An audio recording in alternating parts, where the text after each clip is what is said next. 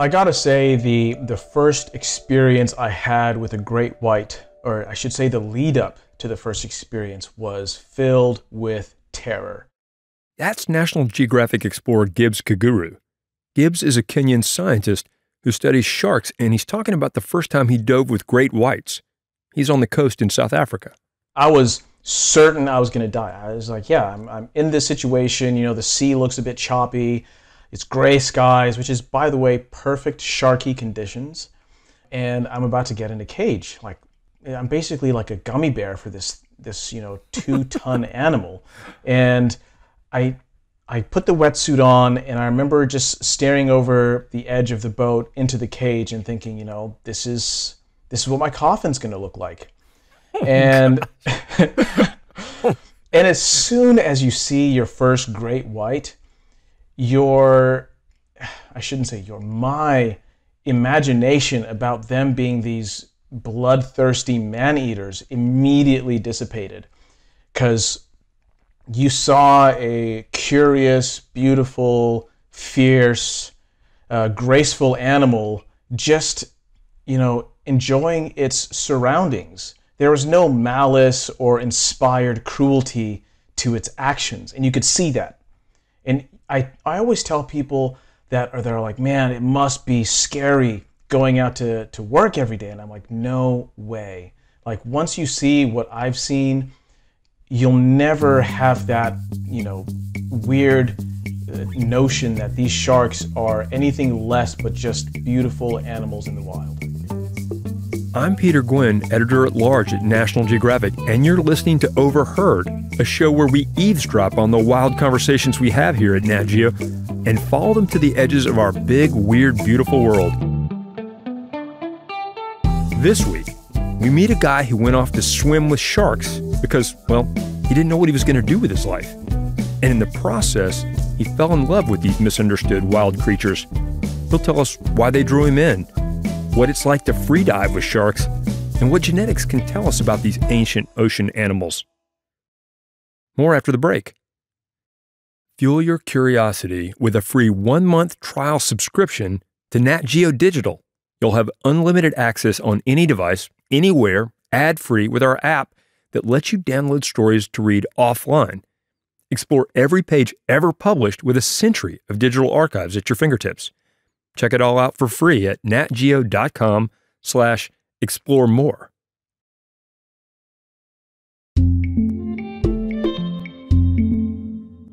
Can you sort of paint that scene of the first time you actually put on scuba gear and went and dived with sharks? I was doing this pre med program and uh, I didn't love it, uh, to be honest. And my study advisor at the time was like, I know you don't love it. And he knew I was not really going to go anywhere with it. Um, so he sends me this bulletin to come dive with sharks in South Africa. This thing that your professor saw, what was it exactly? Was it like a, a, a research project or was it like a tour company or what, what was it? Yeah, it was a tour company that took clients out every day to see great whites. You know, you stick them in the cage, they see a whole bunch of great whites, and they leave you know, having their lives absolutely changed. And I thought that was a crazy idea. Uh, sharks, to me, appeared to be one of the most dangerous things on the planet. But at that stage in my life, I was sort of confronted with uh, two types of fear. Uh, the first was continuing on with this program that I was discontented with deeply uh, for the rest of my life. And uh, the second one was get eaten alive potentially by a great white, which is, you know, uh, the fear of death. But long story short, I chose the sharks. Um, I chose to don the wetsuit and get in the water because uh, for me, the the fear of losing a life well lived was far scarier than losing life itself. And being in the water with sharks um, gave me uh, a whole world of new possibilities that I could thrive in and and love. Is is I also found love uh, for sharks, and yeah. I, I can't describe it any other way because I, I remember the first moment I got a chance to step away from doing shark work, I, I felt like my world was crumbling. and I I don't see it going any other way. I think I can I want to do this for as long as I'm physically capable. Well, okay, so that's man, that's super dramatic. So go from you know preparing to take you know the the medical entrance exams versus going to dive with sharks. So okay, so what happens? You get on a plane, and I mean, how do you even begin this process diving with sharks? Yeah, I mean, the first thing was you know improve my competency in the water, uh, which meant learning how to dive, learning how to boat, and then also being comfortable uh, in a variety of situations with wild animals, and and that's that's something that I feel like uh, is is definitely a skill, but there's also an intuition about you know figuring out how an animal thinks works, and you know it also plays into how safe you can be around them. Um, and this is this is all just comes with like time and experience. Um, and six years working at a shark diving company um, was the crash course that I needed to get me to the level where I can be a, confident shark scientist. Uh, and then I was an intern there uh, for six months. And you know, after that six months, like I said, I, I had an opportunity to to walk back and go and take my uh, medical school entry exam. And I was like, hell no, I'm not going to do that. uh, put me in the water again, man. Like I, I, I just, I couldn't imagine not doing that. It's one of those things where I don't really remember what life was like before I saw my first great white. It was just seeing great whites, and then I'm like, yep, yeah, that's it. So how did you get from that into the research part, into the into the sort of the academic world of sharks? Yeah, I felt uh, uninspired with my pre med program. Um, and for the first time in my life, I, I had wonder again. And that's what pushed me to be like, okay, I have these sharks and I have maybe some academic curiosity. Can I marry these two things together and, you know, learn as much as I can about these animals? So, what was it like the first time that you weren't inside a cage when you went down to study sharks. What did that feel like? I mean, I, I know you, you you you said that you you got this sense of like you sense they're not the creatures that we've imagined them to be through your experience with the tour company. But then when you actually get outside the safety of the cage, what does that feel like?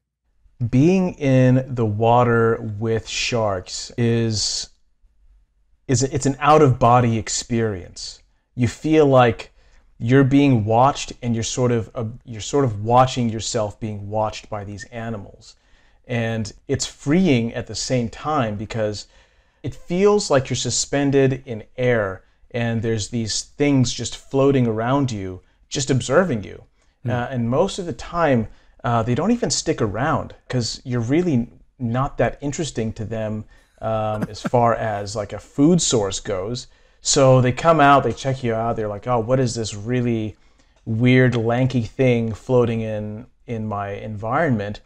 Uh, they check you out for a little bit, and then they they dart off. And and those are the moments that make me sad, actually, because I'm like, man, I want to see this thing as much as possible. Um, how do I get it around me? Is and and this is why I continue doing what I do is because that moment when the shark swims away from from me is like, man, okay I need to come back tomorrow and do this again so I can spend that much more time with it just to see what it does. Sharks are such a a topic of conversation in the United States. And, you know, we can talk a little bit about the Jaws effect, but, if, you know, Jaws came out and really colored a lot of people's view of, of sharks in the United States. Well, what do people in Kenya, like growing up, what was the attitude? Was there a similar sort of like perception of them? You know, I think that you're you're touching on something important there with the Jaws effect, and I think the impact of that film permeated just about every corner of society. Because even growing up in you know Nairobi, which is nowhere near the ocean, um, I was under the impression that sharks are dangerous, um, and I had this notion going growing up for my entire childhood. Even when we went to the beach uh, for the holidays it was always like, don't go out too far because they're going to get you. Yeah. Right. So that's become a universal phenomenon, I guess. The the Yeah. the monster in the ocean that's lurking out there. I think people need to hear more inspiring shark stories. Um, unfortunately, we had one movie that changed the scope of sharks PR for generations. Um, I think people were sort of inclined to having a fear about things they don't understand. But when that fear was given a face and a name, Jaws, that immediately solidified that in our psyche as you know the thing we have to avoid at all costs. And if we can't avoid it then we have to kill it. And that's just what people do. When we feel vulnerable we we want to make sure that there's no way in the future where we'll ever feel threatened again and this spells the end not just for sharks but for a healthy working environment which is is what we need too Can you kind of, you know, for the for the person listening that doesn't, you know, know a lot about this, could you kind of walk us through the evolutionary history of sharks? Um, yeah, so based on we know what we know from their genetic history, we see that they predate trees, and that means they've been around for eras. oh my um, gosh, are you massive- serious? I, I had Yeah. no idea. Older than trees? Yeah. Wow. What that tells me is that you know these animals are so perfectly designed. They've been around through eras of, of mass extinctions, and that's that is is so remarkable, especially when we look at what's happening today, when their populations are being forced to adapt to humans and bounce back from the brink of extinction.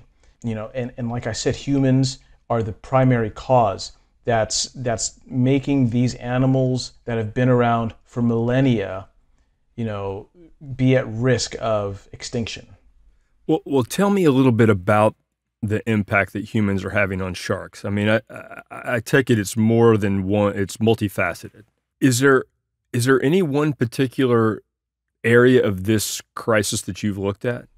The work that I'm doing in the Maldives is is really based on learning about the direct human impacts on shark populations. Um, over about a 40 or 50 year period, um, people had fished the Maldives out nearly to a uh, population collapse. And then the sharks bounced back. Uh, we thought that it was going to be all fine, but now these sharks are coming back with a skin disease, essentially. And it's it, it, it looks kind of like spots that you'd get from uh, like just you know uh, like a sunspot almost like where where you just lose the ability to create pigment um, which is you know sharks have melanin pigment just like we do which is actually kind of cool.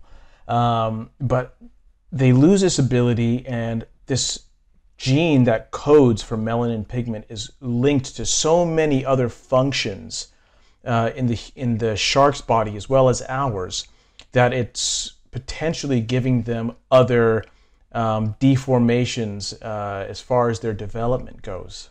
So what what's the sort of the the answer to that? I mean, is there some you know have you guys isolated a specific sort of cause for that that that can be addressed or? Um, again, uh, and th- this goes back to that whole complexity of nature.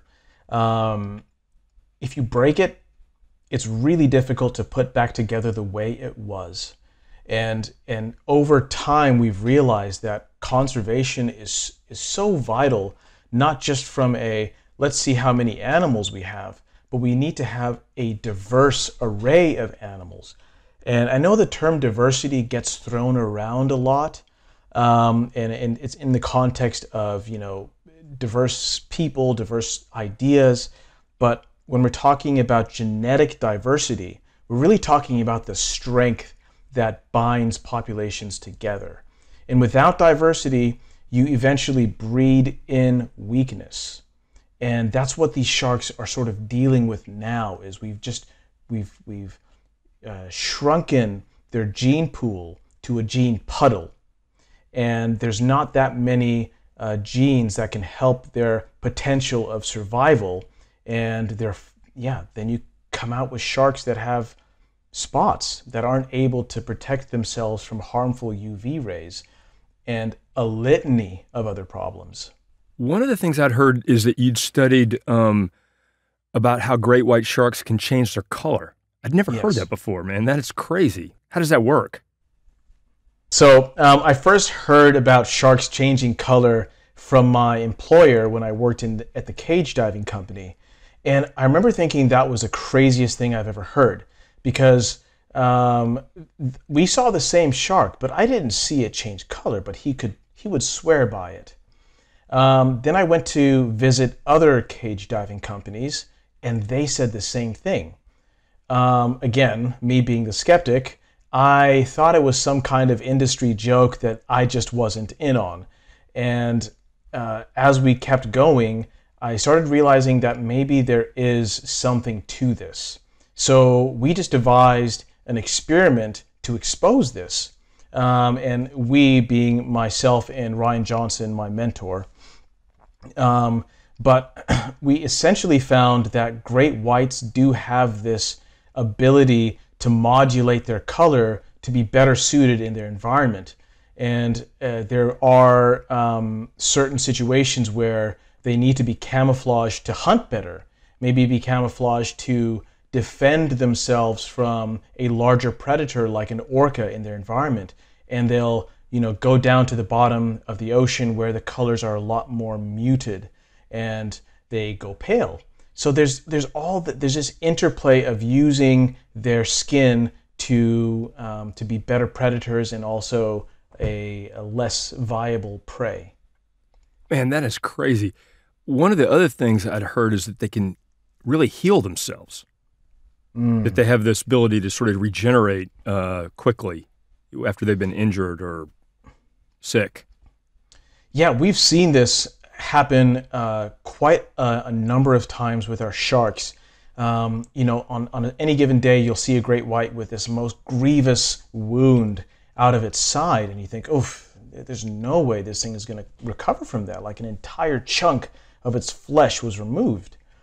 And you watch this shark go um, around your boat over time, and then within a year, it's like it was never hurt. You know, it's like it had never experienced this trauma. And what we've also learned uh, through genetics is that these sharks actually have genes that are geared towards this adaptive immunity that essentially gives them, you know, uh, like a superpower like Wolverine, where, you know, they can take anything um, physically damaging and recover from it. Um, and I think that is one of the the coolest discoveries um, about shark adaptations.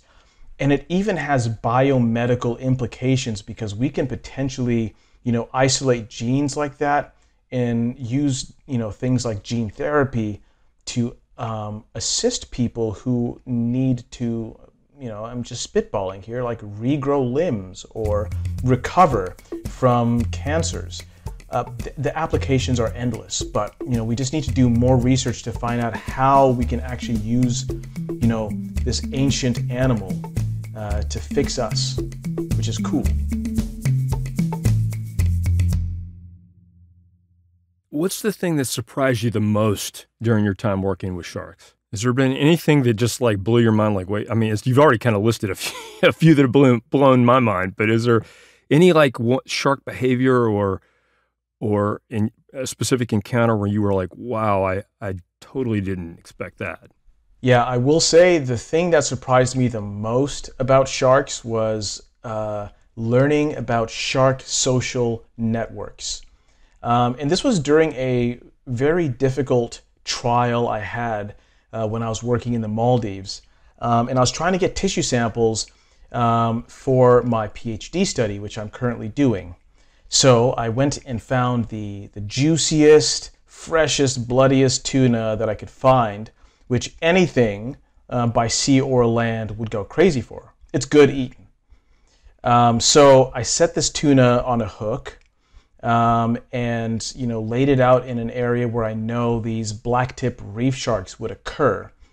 And for two months, I watched every day one of these sharks observe my bait and turn away. You know, this was the most delicious meal that I could have prepared for them because it's highly, you know, it's it's a nice oily fish, it's highly nutritious, and like I said, any animal on sea, uh, at sea or land would would go crazy for it. Um, and yeah, like any chef um, who's prepared a delicious meal, um, I became very despondent. You know, I asked myself, why are these sharks not taking the bait? And as it turns out, these sharks are a lot smarter than they look.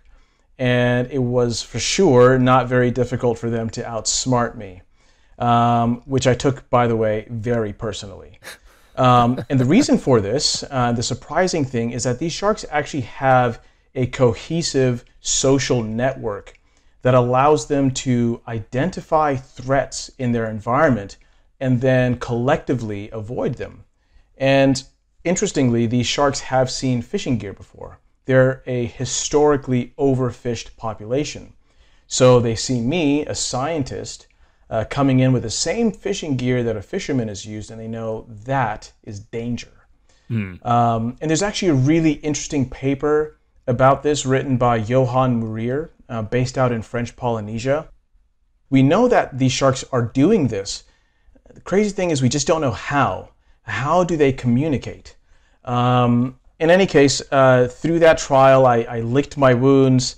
I called my buddy Walker, and um, who, by the way, is a world-class waterman. Um, we got a whole bunch of equipment, devised a plan, and then we successfully managed to catch these sharks. Um, through that, you know, my ego took a really big hit because uh, I'd, I'd been working with great whites, you know, and these little black tips had managed to, you know, yeah, play me for a fool. Um, it, it, taught me a lot of new crucial skills, but one very important lesson I learned is that I actually I don't know. yeah, the more you learn, the more you realize you have to learn, right? Yeah. Um, I saw I saw what was happening to my sharks. You know, it it these animals which I I loved so dearly were taking such a hit from people, and it it, it almost it, it made me feel a little bit helpless because the the love that I had for them was was not backed by action. Uh, and that's that's when I realized I, I gotta start talking about this. I gotta tell people what's going on, what I'm seeing in the environment, how how the habitat of these sharks is completely destroyed, how they have no more food sources, and, and the fact that in the midst of all this, people are still going out and collecting jaws as trophies. I, I don't um, I don't know how this is all going to change, but I know that it's it's incumbent upon me who has seen these things, you know, to be the canary in the coal mine and say, "Hey, this is happening. Are you aware?" If you like what you hear and you want to support more content like this, please rate and review us in your podcast app. And consider a National Geographic subscription. That's the best way to support Overheard. Go to natgeo.com slash explore more to subscribe. And hey, for more on Gibbs' journey and his research, check out our story about him online. We've also got an article about how great whites change their color to sneak up on prey. Plus, you can watch Gibbs in a National Geographic documentary, Camo Sharks. He and other scientists try to catch sharks in the middle of their color changes. And if you just can't get enough sharks, we got a whole bunch of Shark Fest stories for you, including how drones are changing how we observe and think about sharks. That's all in your show notes right there in your podcast app. This week's Overheard episode is produced by Alana Strauss. Our other producer is Kyrie Douglas. Our senior producers are Brian Gutierrez and Jacob Pinter. Our senior editor is Eli Chen. Our manager of audio is Carla Wills. Our executive producer of audio is Davar Ardalan. Our photo editor is Julie Howe. Ted Woods sound designed this episode, and Hansdale Hsu composed our theme music. This podcast is a production of National Geographic Partners. The National Geographic Society, committed to illuminating and protecting the wonder of our world, funds the work of National Geographic explorer Gibbs Kuguru. Michael Tribble is the Vice President of Integrated Storytelling, Nathan Lump is National Geographic's editor in chief. And I'm your host, Peter Gwin. Thanks for listening, and see y'all next time.